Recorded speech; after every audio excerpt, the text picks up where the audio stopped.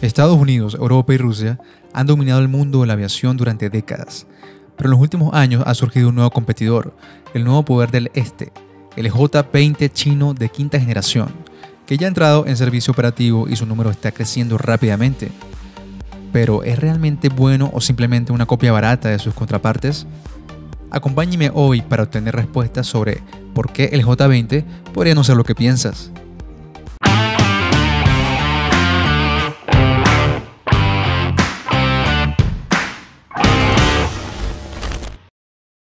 La historia del J20 comienza con el programa JXX a principios de los años 90.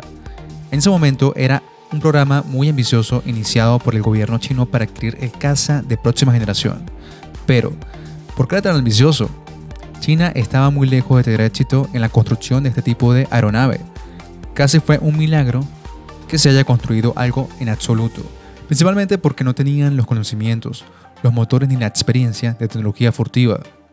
Lo único que tenían era una vasta experiencia copiando aviones soviéticos durante la Guerra Fría. Sin embargo, la caída de su aliado de larga data, la Unión Soviética, resultaría esencial para su éxito. El primer paso para construir un nuevo avión de combate fue adquirir casi toda la tecnología de primera categoría de la antigua Unión Soviética, proveniente de los gobiernos rusos y ucranianos recién formados y desesperados por dinero durante los años 90 y principios de los 2000. El segundo paso fue una gran filtración de datos de la documentación del F-35 orquestada por hackers chinos en 2009. En resumen, los chinos recopilaron todo lo que pudieron y planearon construir su nuevo avión con experiencias de ambos lados, una combinación perfecta del este y el oeste. Después de ser elegido sobre el Shenyang en 2008, la corporación de aeronaves Chengdu presentó su primer prototipo de caza de quinta generación en 2011.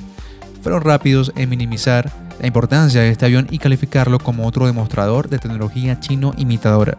Y para ser justos, en este momento no era mucho más que eso. Pero debo decir nuevamente que en ese momento el diseño de esa aeronave no era algo nunca antes visto. Era una mezcla del F-22 y el MiG 144, como a la gente le gusta decir. Pero en realidad se basaba en conceptos furtivos maduros tanto del F-22 como el F-35 y sumaba alas deltas básicas y un diseño de canard que se ve a menudo en aviones de combate como el Rafale y el Eurofighter, pero es mucho más que una simple copia. El J-20 es masivo, con 21,4 metros de largo. Es el avión de quinta generación más grande hasta la fecha y pesa incluso más que los flankers, que de por sí son enormes casas. Los estabilizadores verticales, por otro lado, son muy similares a los del F-35, pero completamente móviles como los del Su-57 y el JF-23. Uno se pregunta, ¿de dónde sacaron esa idea? Al igual que el MiG 144, las aletas ventrales están presentes en la parte inferior de la sección de la cola para mayor estabilidad en vuelo. La nariz de la aeronave es una clara copia de los diseños del F-22 y el F-35. Suele quedar una comparación frontal entre el J-20 y el F-35. Hay otro detalle interesante que destacar. El comportamiento de misiles está segmentado en tres compartimientos, al igual que el F-22, siendo el principal utilizado para misiles de mediano y largo alcance como el PL-12 y 15 los laterales para armamento de corto alcance guiado por infrarrojos. Un detalle muy interesante y único en esta aeronave es cómo las puertas laterales de misiles se cierran y el misil se despliega en el exterior durante el combate. Esta solución reduce la resistencia aerodinámica y permite que el misil utilice mucha menos energía en la etapa inicial de bloque de una fuente de calor. El J-20 puede transportar un total de 6 misiles, más que el F-35 pero menos que el F-22, que puede transportar impresionantes 8 misiles de forma interna. También hay una opción para puntos de sujeción adicionales en las alas, pero hasta ahora no hemos visto el J-20 llevar tanques de combustible adicionales.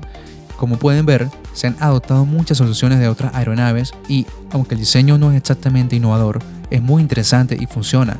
Ah, y ni siquiera he hablado de los motores. El mayor problema en la industria de aviación china durante décadas han sido los motores. Los prototipos iniciales de J-20 estaban propulsados por motores rusos AL-31 y al igual que el J-10 y otras derivaciones del flanker diseñadas para la Fuerza Aérea de la República Popular China. Sin embargo, el problema principal era que no eran capaces de alcanzar velocidades supersónicas sin el uso de posquemadores. Los famosos motores WS-10 que se utilizaron más adelante en la línea de producción tampoco tenían una vida útil sostenible, así que hoy en día los J-20 utilizan la variante WS-10C de motores, que se presentó con un modelo de producción en 2020. Se suponía que estos motores eran una mejora significativa respecto a los originales, con bordes dentados en las toberas que ayudan a reducir la sección transversal a radar. Sin embargo, esta aún no es la solución definitiva al problema, ya que estos motores, que estaban diseñados para ser utilizados en toda la Fuerza Aérea de la República China, en el futuro no pasaron las pruebas.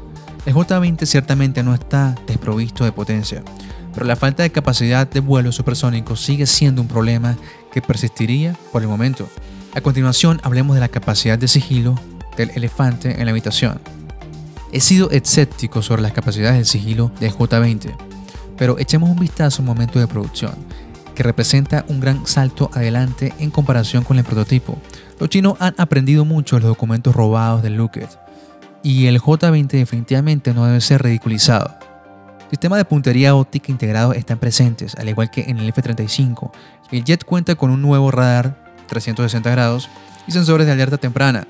Y aunque los canars pueden afectar la sección transversal de radar, hay muchas aeronaves que tienen canars y siguen siendo bastante buenas en esa área. Basta con mirar al Rafael por un momento. Se especula que tienen la sección transversal de radar más baja entre los cazas de cuarta generación. Y su diseño de alas delta más canars se parece mucho a un amigo chino aquí. ¿Ves esa protuberancia en las tomas del aire?